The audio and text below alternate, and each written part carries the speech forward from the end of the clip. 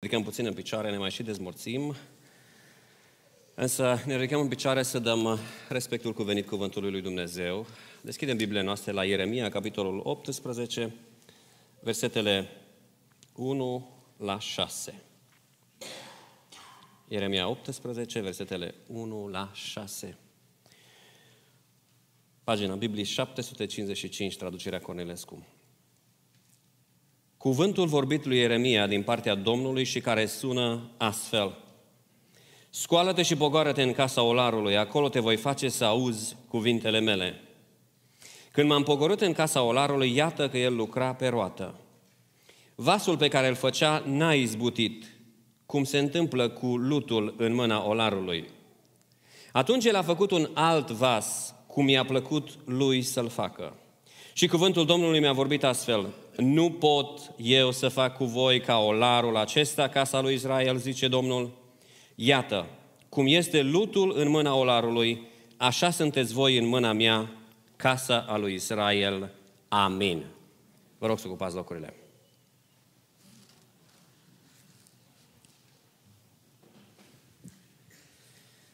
Așa cum vă spuneam, am mai predicat predica aceasta și deși au trecut 9 ani de când uh, am predicat-o,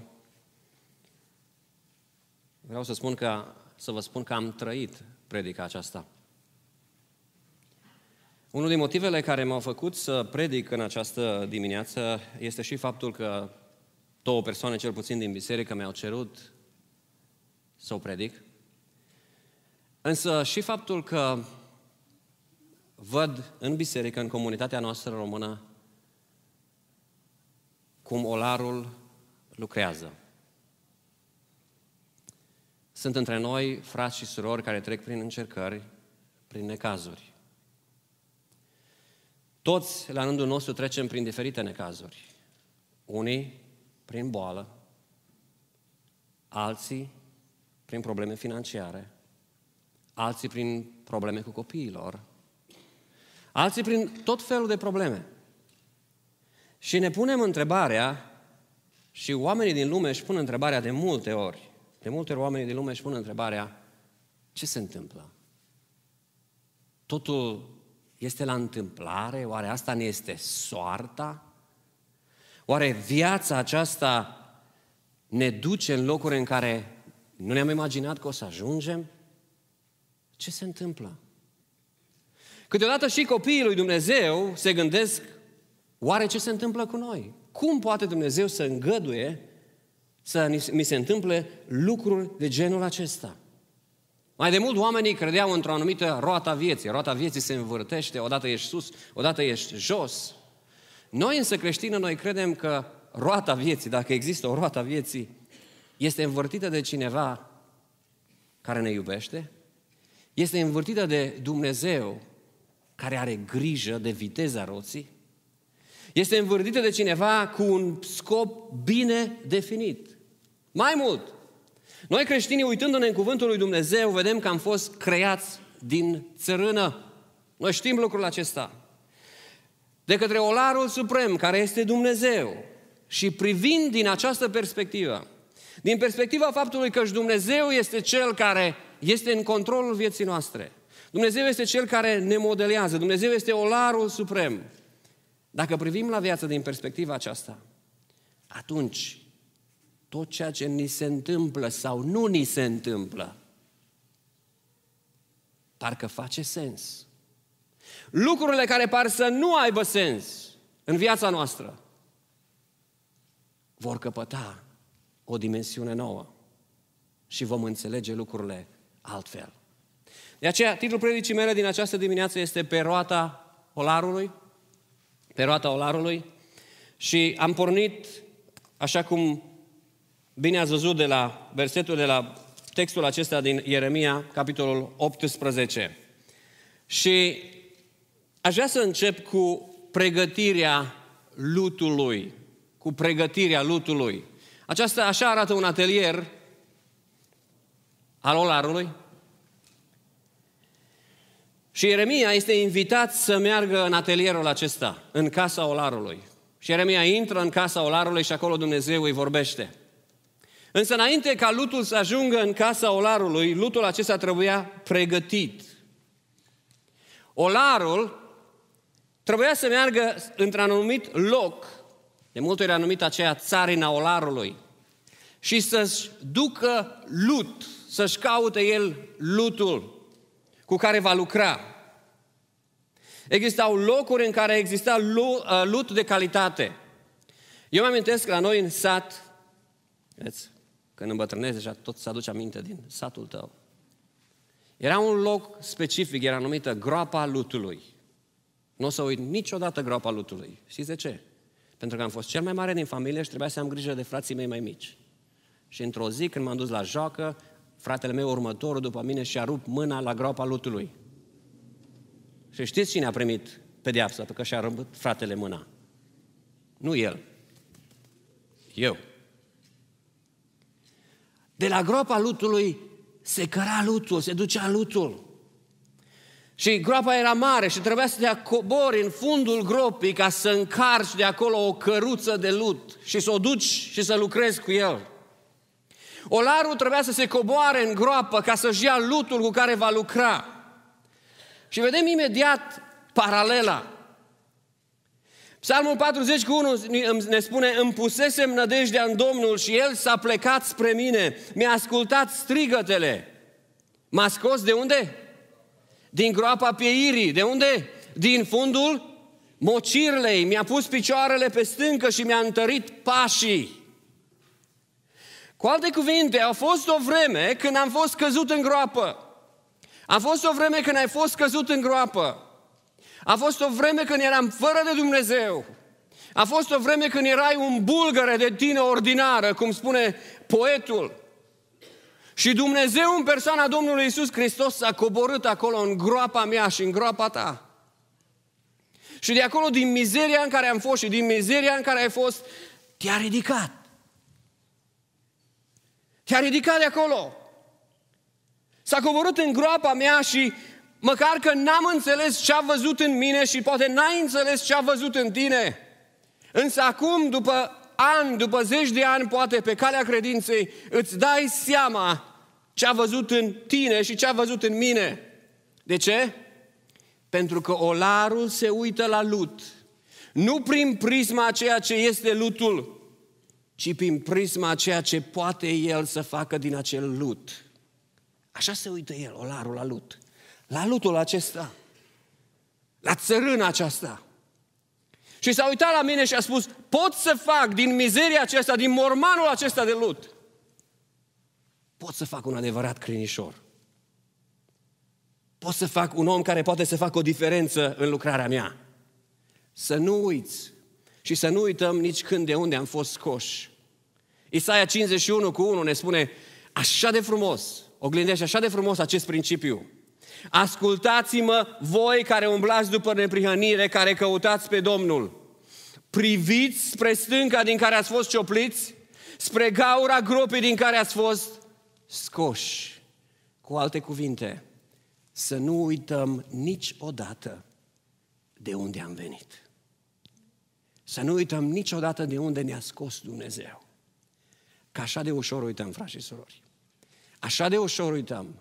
Și așa de ușor știm să ne uităm la alții care acum sunt în groapa mocirlei, sunt în fundul mocirlei, sunt în fundul gropii și să-i judecăm. A fost o vreme când noi am fost acolo. Dar am uitat, am uitat. Și ce face olarul? Ia lutul și apoi începe să-l cearnă. To sift it, Alan. He sifts the clay. Pentru a îndepărta toate pietrele și corpurile străine din el. Aceasta, de fapt, semnifică separarea lutului de lucrurile care nu fac parte din lut și de lucrurile care nu vor putea să contribuie la vasul care urmează la, uh, olarul să-l facă. Separarea noastră de lume și de mizeria ei. Așa spune cuvântul lui Dumnezeu în 2 Timotei 2 cu 21. Vorbește despre această separare. Deci dacă cineva se curățește de acestea, era o listă acolo, va fi un vas de cinste, sfințit, folositor stăpânului său, destoinic pentru orice lucrare bună. Dumnezeu, în momentul în care ne-a scos din groapă, vrea să ne separe și atunci vine cernerea. Ai și cernerea asta este de multe ori grea, dar asta e numai începutul. E numai începutul. Apoi urmează înmuierea. Exact lucrul acesta îl face Olarul aici în poza aceasta. Lutul este pus în apă pentru o bucată îndelungată de vreme, pentru o perioadă mai lungă de vreme, pentru a se îmbiba cu apă. Pentru a se îmbiba cu apă. A se înmuia.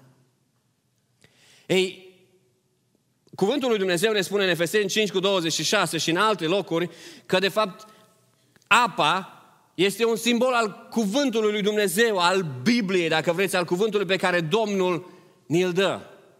Și ceea ce Dumnezeu vrea să facă cu noi este ca după ce ne-a mântuit, după ce ne-a scos din groapa pieirii, să ne îmbibeze cu cuvântul Său. Să studiem acest cuvânt. Să sorbim acest cuvânt, să-l asimilăm, să ne adăpăm din acest cuvânt. El vrea să ne scoată din groapă, El vrea să te mântuiască. Eu nu vă cunosc pe toți de aici, am impresia însă că toți dintre noi am gustat darul mântuirii, sau poate mai sunt încă unii care au nevoie de mântuire. Dragul meu, Dumnezeu vrea să te prelucreze, Dumnezeu te pregătește.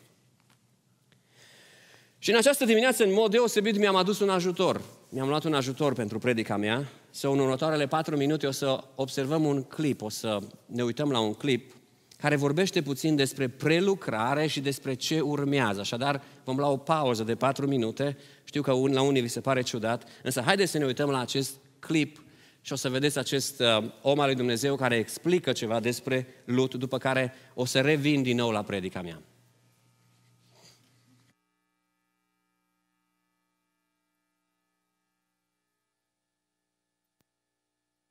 Before I turn this clay into a vessel, to a piece of pottery, I need to go through a process called wedging. And in that, I am going to cut the clay in half, slam it together a few times, then go ahead and knead it, much like you would with dough.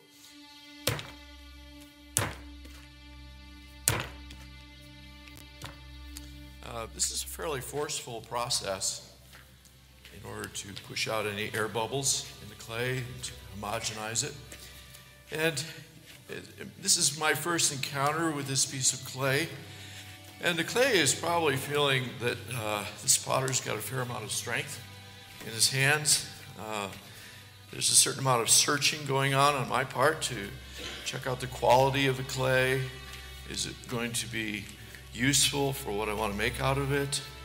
And I'm preparing it for that purpose.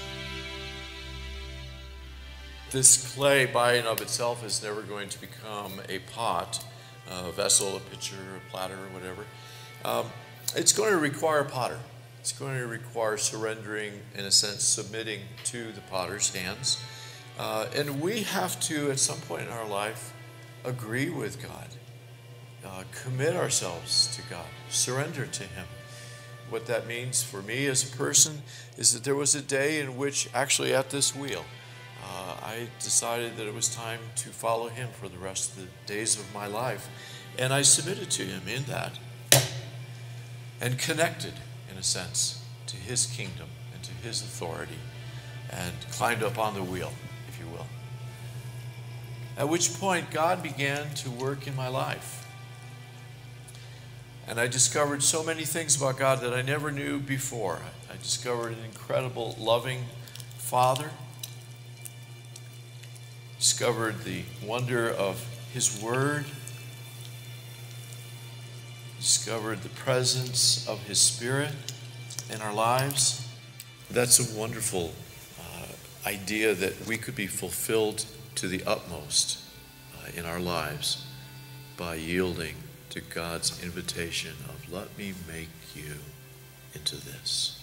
We may not know from the beginning what this is, but we're just simply saying, yes, yes, yes. And in the end, we can look back and see all that He's formed. And what I'm doing right now, this is called centering. I think of the centering process is the process of becoming still in God. So the centering process for me represents that time that I'm going to spend with God. Now that may sound rather strange. Does God enter the room? Do I see him? No. Sometimes I feel a sense of his spirit. Sometimes I feel a, new peace, a new joy. Sometimes I'm inspired by a new thought. Sometimes I'll read something in Scripture or a, a book that's inspirational about God. I believe that God desires to communicate to us. This is not a very exciting process right now. When is the pot going to be formed? But this is foundational for a good pot. It needs to be centered. The clay has to be uniform and still in my hands. It's important for us to become still in the hands of an incredibly wise, powerful, and loving God. This clay is beginning to trust me, beginning to recognize that I have a lot of strength, but that I'm gentle in my approach to it. I don't want to destroy it, I want to form it. I want to form it into something that it never dreamt it could become.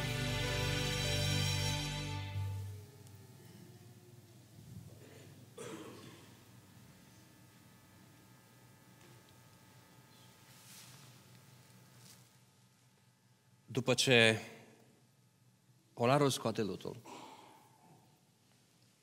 după ce îl îmbibă, după ce îl cerne, după ce îl îmbibă cu apă, începe să-l prelucreze.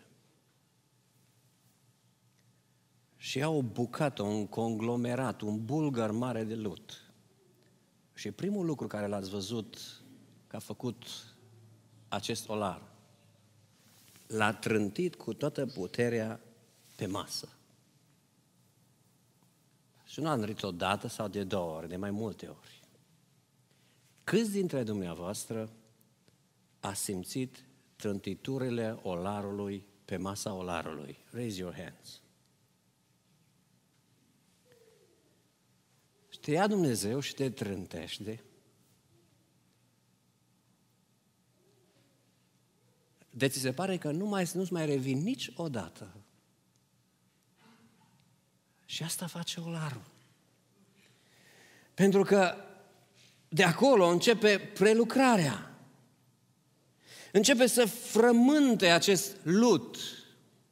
De ce îl frământă? De ce frământă lutul? Pentru a face lutul cât mai maleabil.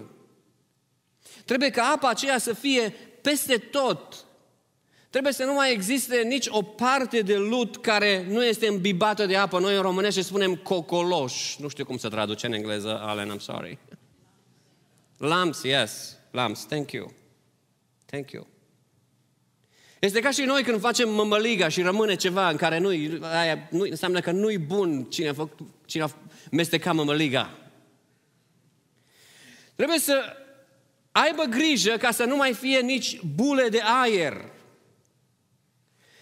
și nu vreau să împing ilustrația aceasta la o extremă, dar așa face Dumnezeu, câteodată ne trântește de roata asta, câteodată ne trântim noi fără să ne dăm seama.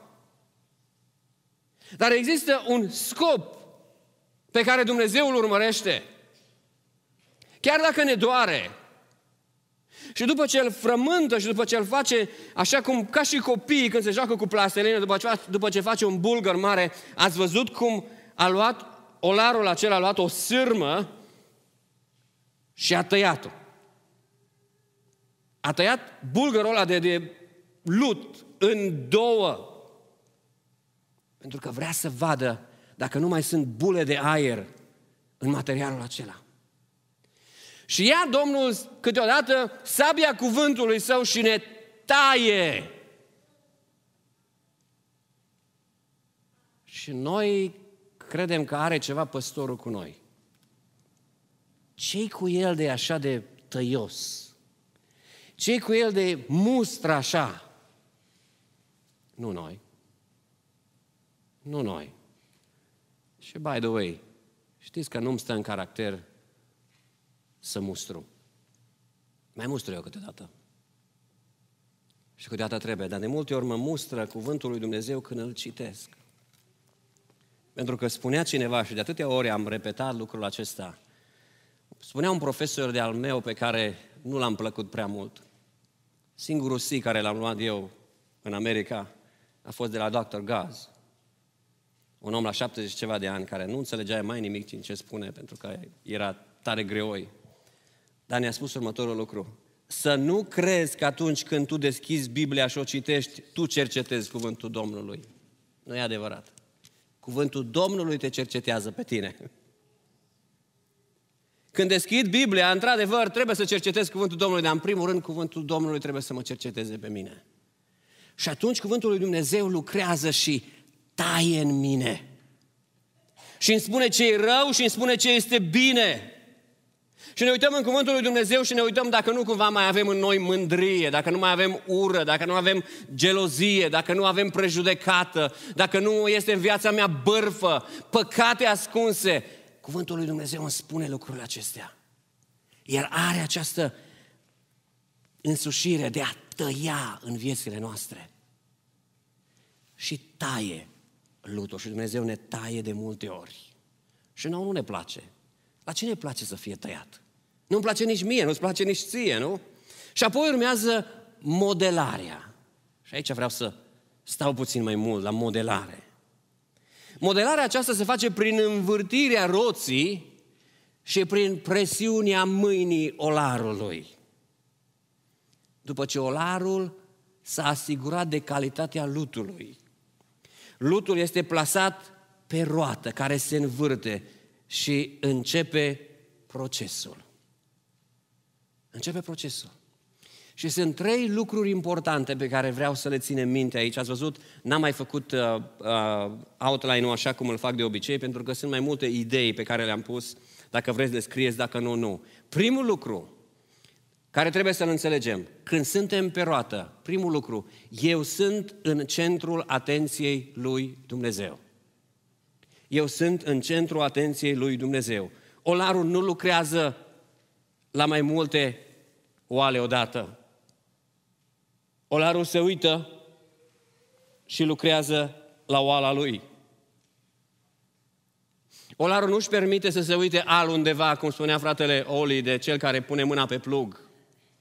Olarul se uită unde lucrează. Primul lucru care trebuie să știi atunci când Dumnezeu lucrează la modelarea ta și la, Dumnezeu lucrează la modelarea mea, este că ești în centrul atenției lui Dumnezeu. Dumnezeu este în control. Al doilea lucru, roata nu se învârte la voia întâmplării, ci este învârtită de Dumnezeu. Ea nu se învârte odată mai tare, odată mai încet și ea, ea nu, nu, nu poate să se învârtă by itself. În vechime era învârtită de piciorul olarului. El dădea viteza roții. Tot ceea, tot ceea ce mi se întâmplă, se întâmplă controlat de Dumnezeu. Al treilea lucru. Câte vreme lutul este pe masă, mâna lui Dumnezeu sau mâna olarului este în contact cu lutul. Câte vreme lutul este pe masă, mâna olarului este în contact cu lutul. Vedeți? Dacă mâna olarului nu atinge lutul, lutul acesta nu va ajunge niciodată vas. El va rămâne, el va rămâne tot lut. Nu-și va atinge scopul. Acum, haideți să facem o paralelă. Roata reprezintă viața noastră pământească. Și când vorbim despre roată, nu are importanță mărimea roții sau viteza cu care se mișcă. Noi cu asta suntem captivați. Cât de mare e roata? Cât de mult să trăim? Nu, nu, nu, nu. Ceea ce este important este centrul acestei roți. Centrul acestei roți. Adică important este ca întotdeauna să fiu în centrul roții.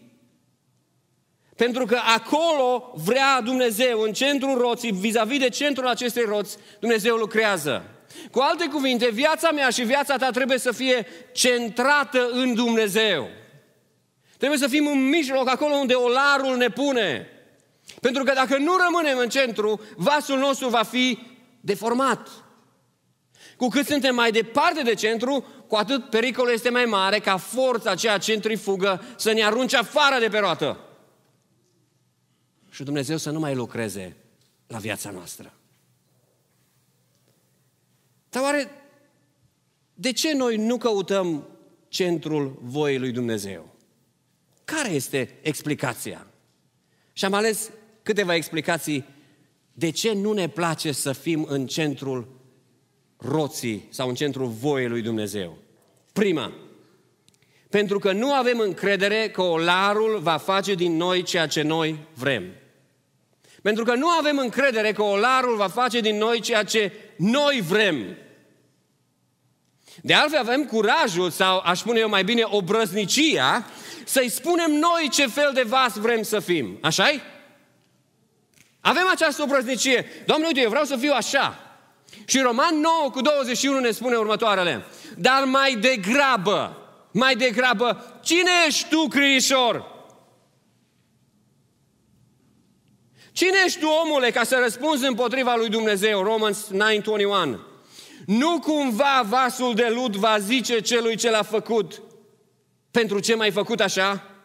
Nu este olarul stăpân pe lutul lui ca din aceeași frământătură de lut să facă un vas pentru o întrebuințare de cinste și un alt vas pentru o întrebuințare de ocară? Cine sunt eu? Și cine ești tu? Să vrei să devii altceva decât Dumnezeu vrea ca tu să devii. Cine suntem noi? Cine suntem noi? Dacă nu stăm acolo unde Dumnezeu ne vrea, în centrul voiei lui Dumnezeu, viața noastră va fi o viață de calvar. Poate ne va merge bine, poate vom fi confortabili, dar nu vom ajunge ceea ce Dumnezeu vrea să ajungem. La graduarea mea de la școală de aici, în, în Pasadena, eh, președintele școlii noastre ne-a spus, play it safe, stay in the center of God's will. Play it safe. Pentru că acolo este cel mai sigur loc de pe pământ pentru mine și pentru tine, atunci când ești în centrul voii lui Dumnezeu. De ce nu ne place să stăm în centrul roții? Pentru că nu avem încredere că olarul va face din noi ceea ce noi vrem. Doi, pentru că nu ne place să fim modelați. And that's the main reason. Pentru că nu ne place să fim modelați. De ce? Modelarea asta implică suferință de cele mai multe ori. De cele mai multe ori modelarea implică suferință. Și știți ce face olarul? Ne dă o formă și apoi când începe forma vasului, ați văzut, începe cu interiorul. Degetele astea mari de thumbs apasă și formează acolo o adâncitură numită crater. De fapt, olarii o numesc inimă. Inima lutului. Și când Dumnezeu începe să lucreze la viața mea și la viața ta și când își pune degetele astea două a Lui și formează acel crater, atunci mă doare. Și atunci te doare. Și are El metoda Lui cu fiecare din noi. Pe mine mă modelează într-un fel, pe tine te modelează în alt fel. Pe mine mă apasă poate prin cineva sau altcineva sau printr-un necaz, pe tine te apasă printr-alt necaz. Dar scopul lui principal este să ne schimbe și începe cu interiorul și deseori experimentăm dureri sufletești pe care nici măcar nu le putem pune în cuvinte. Psalmul 32 cu 3. Câte vreme am tăcut, mi se topeau oase de, oasele de gemetele mele necurmate. De ce? Că zi și noapte Mâna ta apăsa asupra mea, zi și noapte, mâna ta apăsa asupra mea și știe El cum să ne apese. Știe El cum să ne apese. El pune asupra noastră o presiune interioară și o presiune exterioară. Și atunci începe modelarea. Și te vezi strâns din toate părțile. Și la un moment dat nu mai poți. De ce lutul nu stă în, în centrul roții? Numărul unu, pentru că nu avem încredere că va face ceea ce vrem noi să facă din noi. Numărul doi, pentru că nu ne place să fim modelați. Numărul trei, pentru că nu înțelegem modul lui de a lucra. Nu înțelegem modul lui de a lucra. Pentru că s-ar putea că atunci când am venit la Hristos, cineva, poate un predicator plin de râvnă, ca și mine, să-ți fi spus, vină la Hristos, viața ta va fi fericită de acum încolo, să ai numai fericire, nu o să mai ai niciun necaz. Yeah, right, cum spune americanul. Yeah, right. Nu e scutit de necazuri. Diferența este însă că acolo, în mijlocul necazului, Dumnezeu va fi și Dumnezeu este cu tine, binecuvântat să fie numele Lui. Viața și problemele ne copleșesc, roata se învârte și parcă nu se mai oprește și la un moment dat simți că amețești. Ce ne facem? Și la un moment dat chiar de super și faci ca și Iov și spuni, Doamne, știi ce, lasă-mă pe mine să-mi direcționez viața. Lasă-mă pe mine! Și Dumnezeu poate spune de acolo din cerul lui, nu știu despre ce vorbești, crinișor. Până acum tot tu ți-ai direcționat viața. De-aia ești în halul în care ești tu. Lasă-mă tu pe mine să fiu la cârma vieții tale, lasă-mă tu pe mine ca să învârd eu roata și să vezi că o să-ți fie bine. Nu? Isaia 29 cu 16. Oare olarul trebuie privit ca lutul său? Poate lucrarea să zică despre lucrător nu m-a făcut el? Sau poate vasul să zică despre olar el nu se pricepe? Poate, via, o, poate vasul să zică despre olar el nu se pricepe? Putem noi să avem o brăznicie aceasta? Putem noi să facem lucrul acesta? De multe ori nu stăm în centrul roții pentru că nu înțelegem modul lui de a lucra. Și Dumnezeu poate să lucreze în viața ta, poate printr-o boală, Dumnezeu poate să lucreze printr-o boală la soțul tău, la soția ta, printr-o boală la copiii tăi, prin ceva care se întâmplă. Nu înțelegem. Și veniți la frații păstori și întrebați și eu vă spun, nu știu. Și unii vă gândiți, dar frate Cănișor, dar tu ai făcut școală. Nu? Tu ești doctor. Cum nu știi? Și eu vă răspund ceea ce le răspund la studenții mei când nu știu. Am luat doctoratul că atunci când vă spui I don't know, să o spun cu mai mare autoritate. Nu știm, frați și surori. Nu știu. Și trebuie să ne obișnuim câteodată să mergem dincolo în cer cu unele întrebări la care n-am primit niciodată răspuns. Dar să avem încrederea că și Dumnezeu, Cel care ne-a plasat pe roată, întotdeauna are modul lui de a lucra și întotdeauna lucrează pentru binele nostru. De ce lutul nu stă în centrul roții? Al patrulea motiv. Pentru că ne este greu să renunțăm la surplusul de lut din viața noastră. Pentru că ne este greu să, să renunțăm la surplusul de lut din viața noastră. În procesul de modelare, olarul aruncă lutul de care nu are nevoie și de care noi nu avem nevoie de fapt. Dar ținem așa de mult la el. Avem așa de multe jucării la care ținem. Doamne, vreau și asta, Doamne, vreau și asta. Și Dumnezeu ne modelează, ne-a pus pe roata Lui. Poate spui, auzi, nu e adevărat, la mine n-a luat Dumnezeu nimic, uite ce formam. Poate că ești mai plin, hei. Nu, nu despre asta e vorba. Asta știm că și noi vrem să dăm jos și, și eu vreau să dau jos. Mai am un pic de dat jos. Ok? M-a ajutat și voi puțin, mă stresați un pic și... Ne este greu să renunțăm la surplusul. Dar Dumnezeu vrea să renunțăm și trebuie să fim maleabili, pătrunși de cuvântul Său și să renunțăm la niște lucruri care poate câteodată ținem cu amândouă mâinile de ei. Renunțăm poate la orgoliul nostru, la mândria noastră, să renunțăm la lucrurile la care noi credem că sunt atât de importante pentru noi și Dumnezeu spune, știi ce, astea nu sunt importante. Nu sunt importante. Nu sunt importante deloc.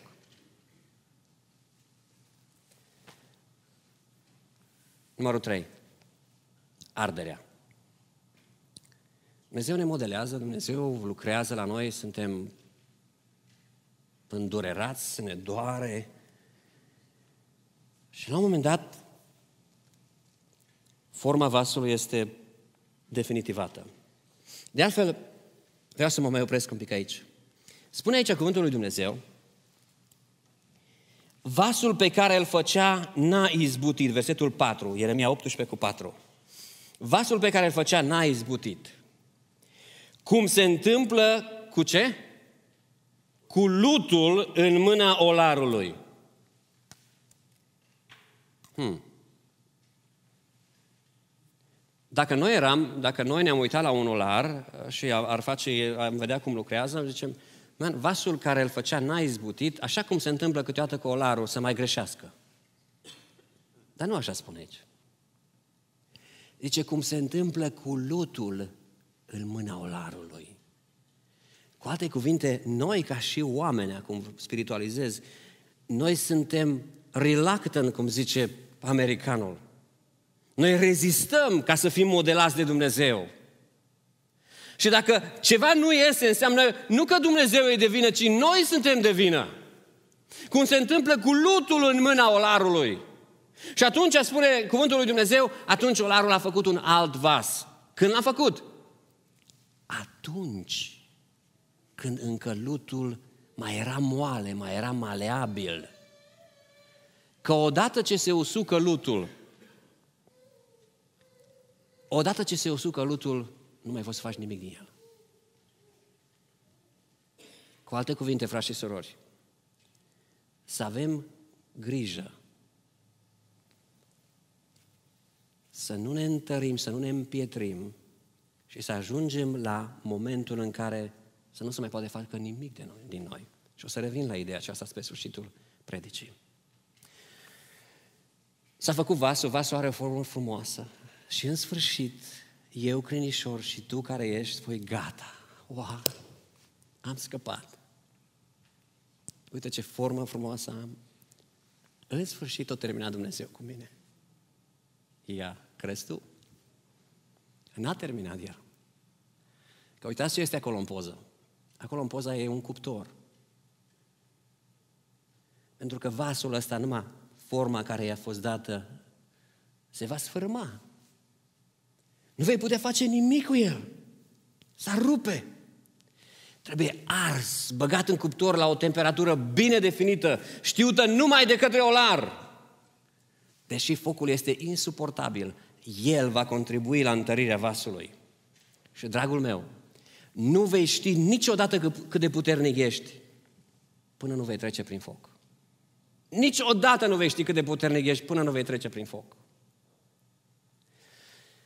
Aș vrea să te gândești puțin să, la un necaz care s-a întâmplat în ultima vreme, să zic în ultimul an sau ultimii doi ani. Un necaz mare care ți-a marcat viața. Dacă îți spunea cineva cu 10 ani în urmă că tu o să treci prin necazul ăla, ce ai fi zis? Eu dacă trec prin necazul ăla, eu cred că e gata cu mine. Eu o să-mi pierd capul, eu o să nebunesc, eu nu știu ce se întâmplă cu mine. Și uite-te la tine astăzi. Ai trecut prin necazul ăla, nu ți-ai pierdut capul, nu ți-ai pierdut mântuirea, Dumnezeu a fost cu tine și te uiți înapoi și spui, binecuvântat să fie Domnul care m-a ajutat și am putut să trec peste lucrurile acestea, pentru că niciodată nu știi cât de puternic ești până nu vei trece prin foc. Și ne bagă Dumnezeu în cuptorul Lui și dă drumul la foc. Și acum depinde ce vas vrea să facă din noi. Dacă face numai un bibelou, poate că focul nu trebuie așa de mare. Dar dacă vrea să facă din noi un vas pe care să-l folosească, care să reziste, bum, mai mare și mai mare. Și vine focul. Câteodată vine focul de la păstorul tău.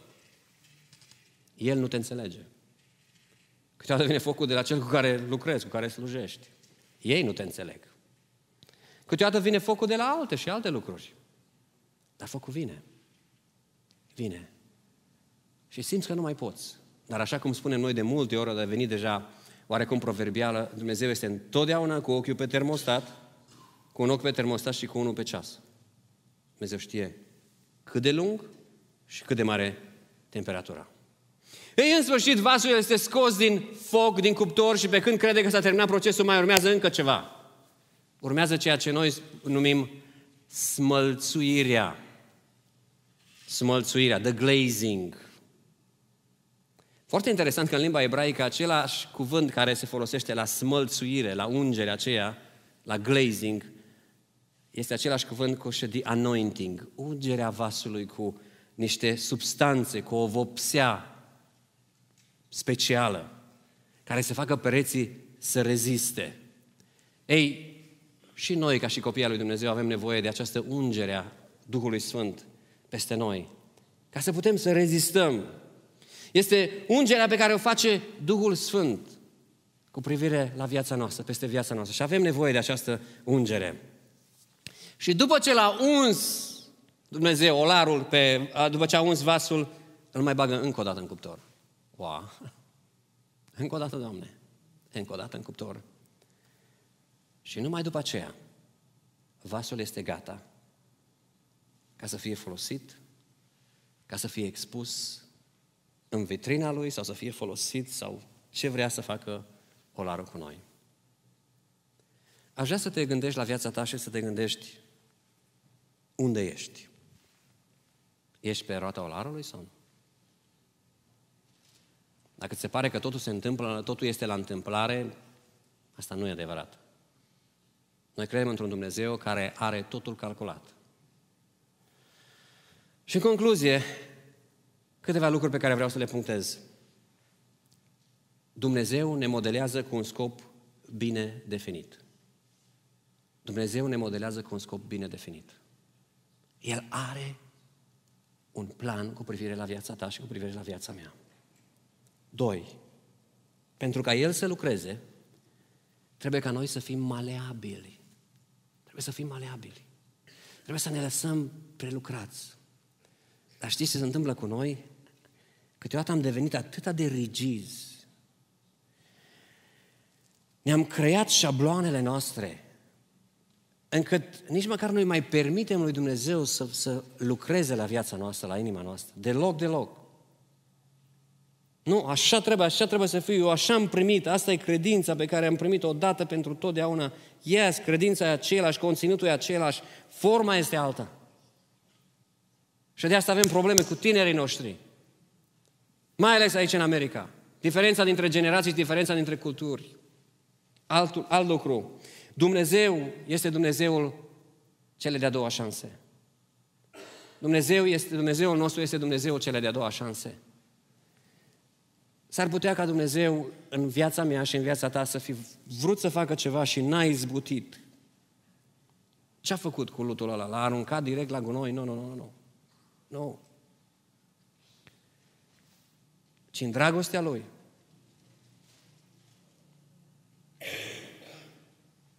În dragostea Lui a început să-l dea o altă formă. Așadar, dragul meu, nu știu care e problema ta. Nu știu prin ce necazuri treci. Nu știu care este păcatul sau greșeala pe care ai făcut-o în viață. Nu știu. Tu știi.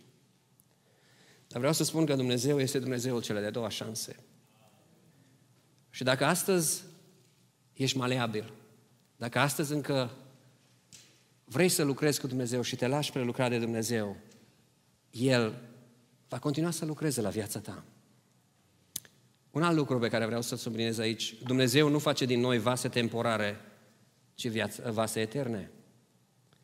Dumnezeu nu face din noi vase de unică folosință. Dumnezeu când se uită la noi, nu vrea să facă ceva care să-l arunce după aceea la groapa de gunoi a istoriei. Ci Dumnezeu lucrează cu un scop bine definit. Pentru ca vasul meu și vasul tău să aibă forma pe care El o vrea pentru eternitate, și anume modelează în noi chipul lui Hristos. Și atunci privim viața din altă perspectivă. Nu privim la mărimea roții, ci privim la centrul roții. Și apoi un alt lucru care este frightening, înspăimântător. Dumnezeu are dreptul să sfărâme vasul. Dumnezeu are dreptul să sfărâme vasul. În Ieremia 19 cu 1, uitați ce spune cuvântul lui Dumnezeu. Așa a vorbit Domnul, du-te de cumpără de la, de la un olar un vas de pământ și ia cu tine pe câțiva din bătrânii poporului și din bătrânii preoților. Și versetul 10.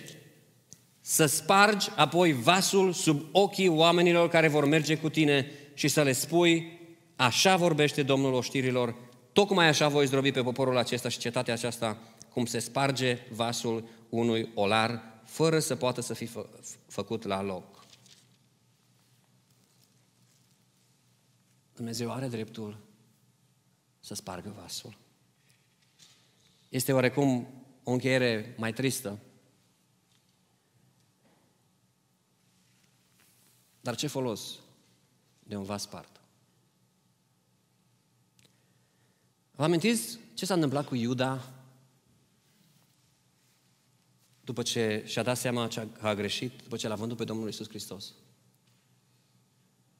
S-a spânzurat și unde a fost îngropat? Care este? Țarina olarului. În țarina olarului se aruncau vasele astea de olar care nu mai puteau fi făcu- refăcute deloc. În țarina olarului era locul unde erau îngropați oamenii fără de lege, oamenii irecuperabili, oameni care au făcut numai rău.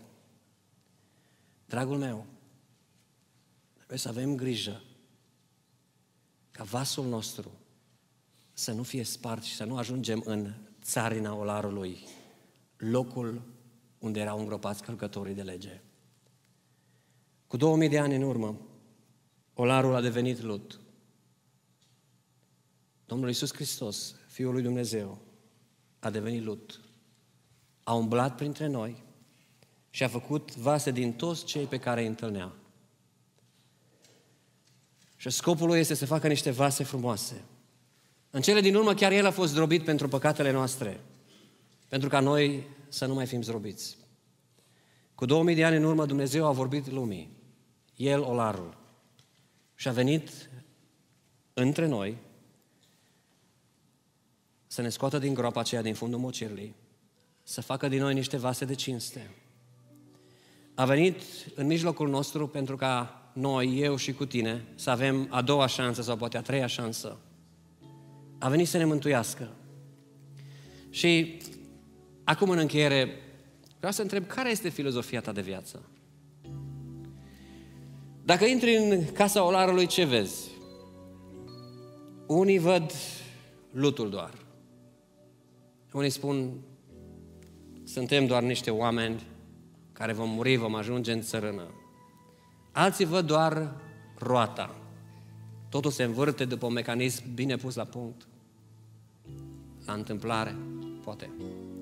Alții văd doar mâna olarului.